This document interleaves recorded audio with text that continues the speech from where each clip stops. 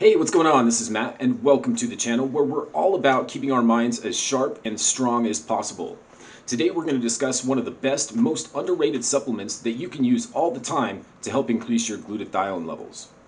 Whey protein is a super popular supplement these days. Many people agree that it's really one of the best for improving your muscle mass, athletic performance, and workout recovery.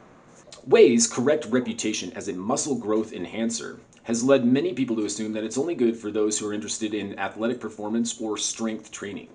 However, whey protein is a very safe and versatile supplement that can be used for an array of conditions such as high blood pressure, IBS, cancer, diabetes, inflammation, and age-related muscle loss. Now you may wonder, how does this simple food accomplish all these amazing things? Well, it turns out that whey protein is the top food for helping your body to increase levels of glutathione, which is your body's master antioxidant. Glutathione is so powerful that it can detox things like heavy metals, toxic drugs, and dangerous free radicals.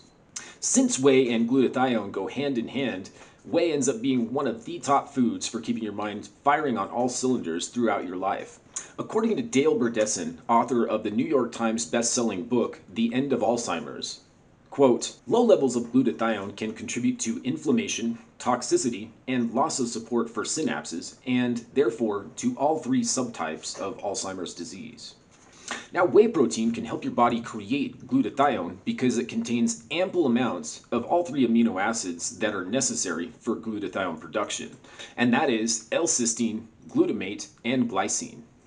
Whey also contains a very bioavailable compound called glutamylcysteine, which is actually the combination of glutamate and cysteine, which is very readily converted by your body into glutathione. And if that weren't enough, whey also contains some crazy scientific sounding stuff like immunoglobulins, lactoferrin, and alpha lactalbumin, all three of which assist your body in glutathione synthesis.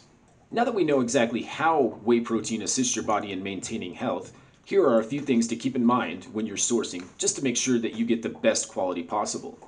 Number one, look for organic whey protein when possible. This will make sure that it has less pollution such as insecticides, herbicides, growth hormones, and antibiotic residue. Number two, make sure your whey protein is grass-fed if at all possible. This makes sure that the cow has the correct fatty acid content and will actually make for a more nutritious product. Number three, make sure the whey protein that you purchase is cold filtered, which helps to keep whey's fragile molecular structure intact and therefore maximize nutrition. Now, as far as whether to get whey protein concentrates or whey protein isolate, the research has indicated that they're pretty similar with regard to their health effects. One last thing to keep in mind with regard to whey protein consumption is simply moderation. It turns out that the human body only needs so much protein, and if you get far more than that, it can actually be detrimental to your kidney health. And that concludes our video on whey protein and glutathione synthesis. If you enjoyed the video today, feel free to hit that like button below. I really appreciate you taking the time to watch and look forward to seeing you next time.